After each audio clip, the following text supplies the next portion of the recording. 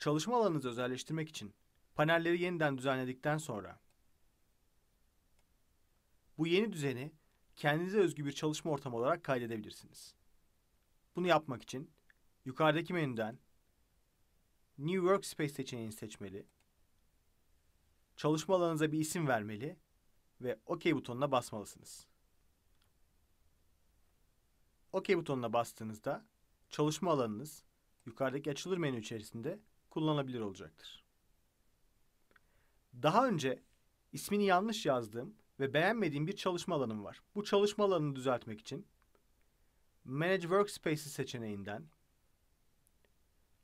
düzenlemek istediğim çalışma alanının ismini tıklayıp Rename butonuna basarak düzenlemeyi yapabilir.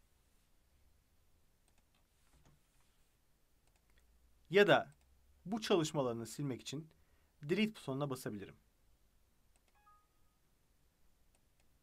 Evet, böylelikle çalışma alanlarınızı kolaylıkla düzenlemiş olursunuz. Çalışma alanınız içerisinde herhangi bir değişiklik yaptıktan sonra orijinal haline geri dönmek için açılır menüden Reset seçeneğini seçmeniz yeterli olacaktır.